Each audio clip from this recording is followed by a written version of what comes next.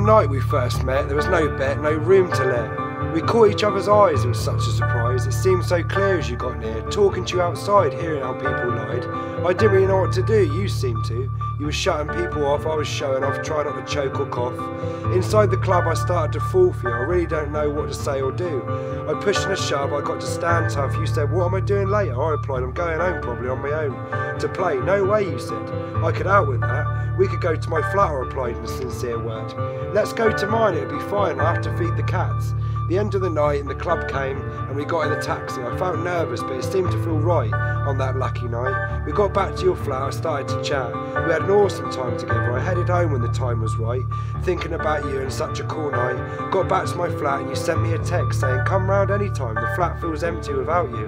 I remember thinking, I've met Mrs. Right. My dear Lelia, you are the one, there is no pun.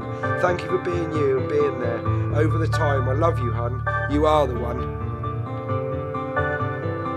Do thank you a lot, Lelia. I don't think I tell you enough because rubbish gets in the way when we do spend time with each other, and, and I am sorry for that. But I think the world of you, honey, and I hope we have an amazing life together, and I hope we stay together forever. You mean more to me than anything ever does in my life. You've always been there for me. You always try and find a way to help in any situation that has come my way through time.